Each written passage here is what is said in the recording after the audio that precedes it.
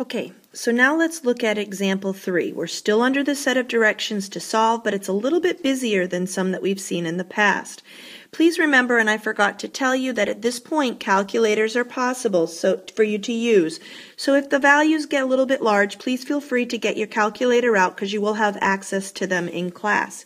So as we look at this particular example, again, we're going to put a line through the equal sign and to create our different sides so we can take action that we need to over that equal sign.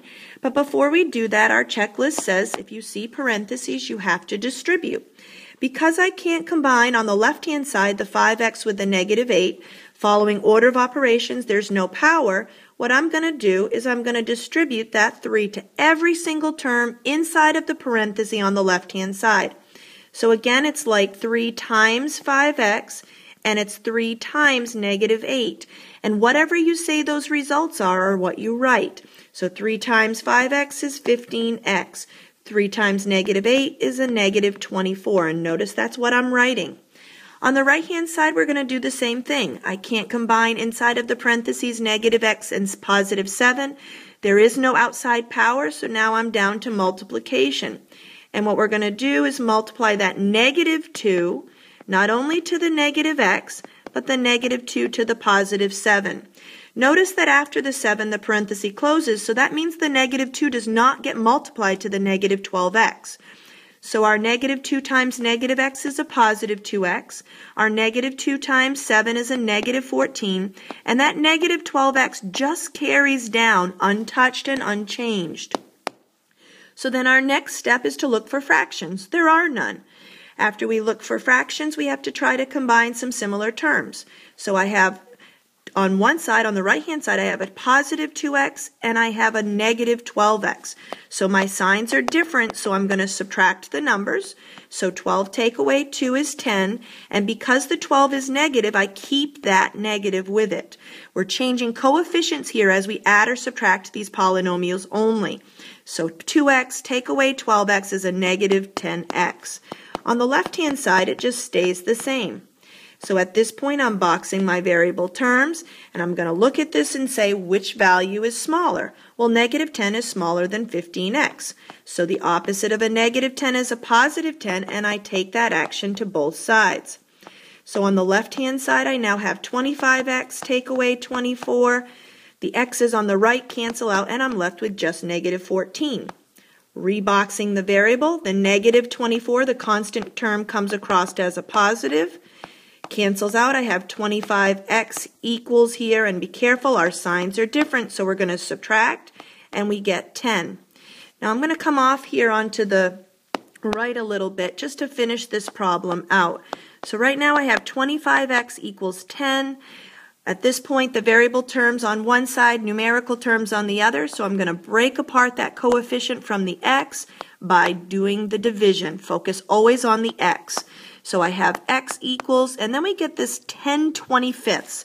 So to simplify this fraction, in common you ask, what's that largest value in common? And ultimately, if I divide each by 5, I have a 2 in the numerator and a 5 in the denominator. Do not be afraid of decimal or fractional answers. In Algebra 2, it is definitely a possibility for every single example that you see, so don't be thrown off if you do get a lot of fractions. It might not happen, but it certainly can.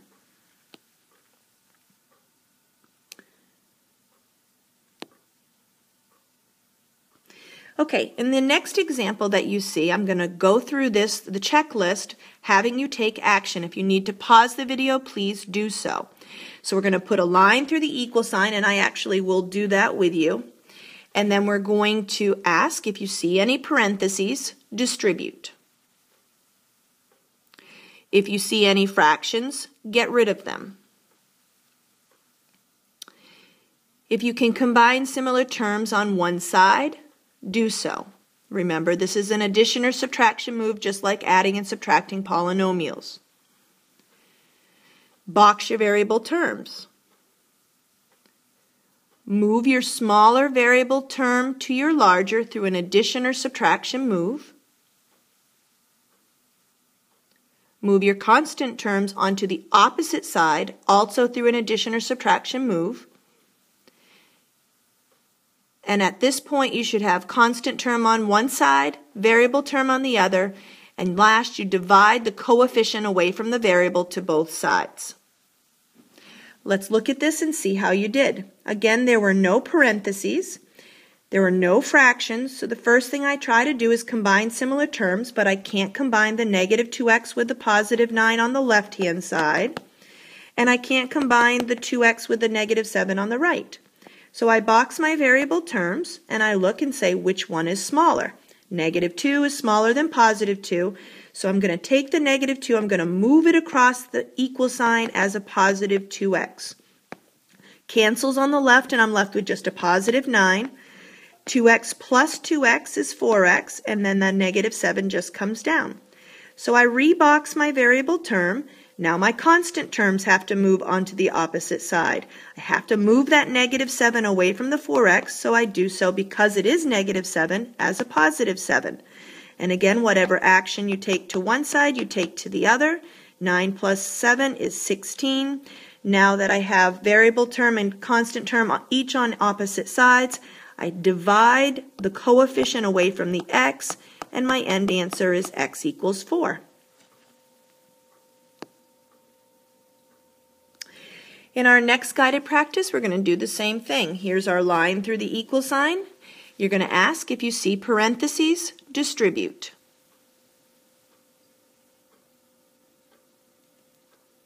Do you see fractions? If so, get rid of them by multiplying every term by the denominator value. Can I combine similar terms on one side? Box your variable terms.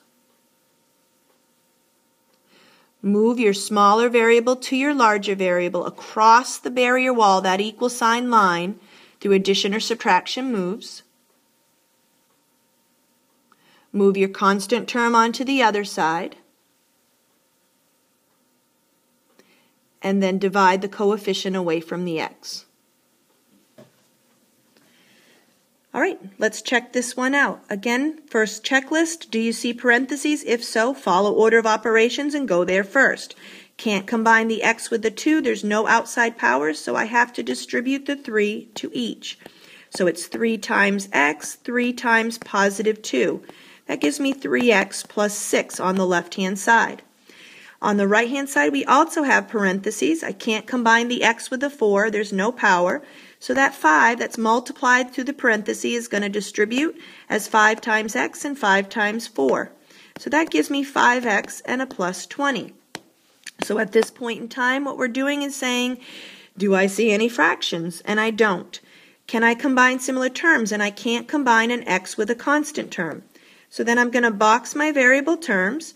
I'm going to move my smaller to the larger, so 3 is smaller than 5, and we do so by taking the opposite side, and the action goes to both sides. The 3x's cancel on the left. I left with a positive 6. 5x's take away 3x's leaves me with 2x's, and I rebox my variable term. From there, the constant term has to move to the other side, so a positive 20 crosses as a negative, action taken to both sides. So positive 6 minus 20, signs are different. We subtract and we get negative 14.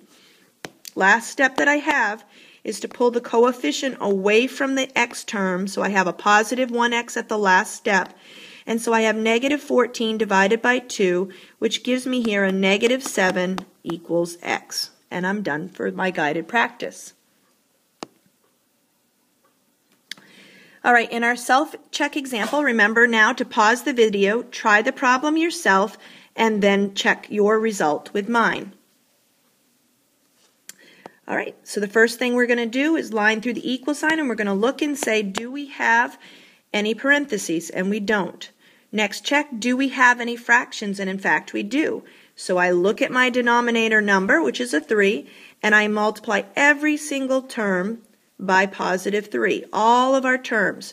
So I get 15 equals negative 21, and remember that we did that so that those 3's cancel, and I'm left with a positive 2x.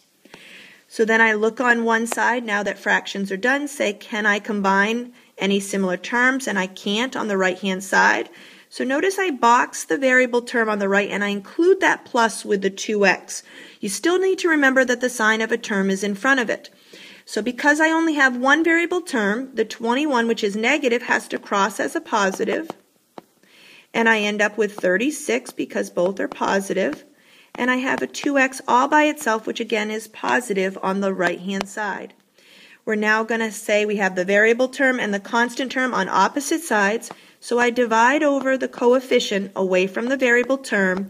So I have a positive x equals, and 36 divided by 2 is 18.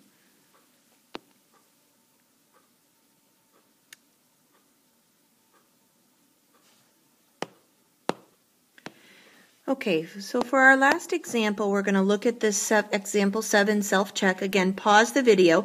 For some reason, I can't get it in slideshow format, so I'm going to have to try to squeak it through in this smaller print, so bear with me on that part of it. So we're going to again look at our parentheses, and we're going to say, can I distribute, um, excuse me, can I combine similar terms, which I can't? Is there an outside power, which there's not? So I'm going to take that negative 4 and I'm going to multiply it to the 2x and I'm going to multiply it to the positive 5. So I end up with negative 8x and a minus 20 on that side. On the other side, we have a negative x minus 9 in parentheses. I can't combine. No outside power, but the 2 is going to be distributed to each. So it's 2 times negative x and 2 times negative 9. So it gives me a negative 2x and a minus 18. And again, notice after the 9, the parenthesis closes, so that minus 4x just carries on its way down. From there, I try to say, do I have any fractions, which I don't. Can I combine similar terms on one side, which if you look, I have a negative 2x, and notice a negative 4x. The sign of a term is in front of it. So I get this negative 8x minus 20 equals, and because my signs are the same, I get a negative 6x minus 18. From there, what I have to do, box your variable terms. Which one is smaller? That would be the negative 8x. So I add 8x to both sides. Now I'm short on space here, so I'm going to come to the right and show you that that result would have been a positive 2x. And because I'm short on space, I'm going to move the constant term, that negative 18, away from that right-hand side and push it to the left. And I'm going to do so as a positive because it is a negative. So negative 20 plus 18 gives me a negative 2. Now that I have the constant term on one side, variable term on the other, I divide, and my final answer for x is negative 1. So this concludes your lesson. Make sure you please look these notes over and bring them to class.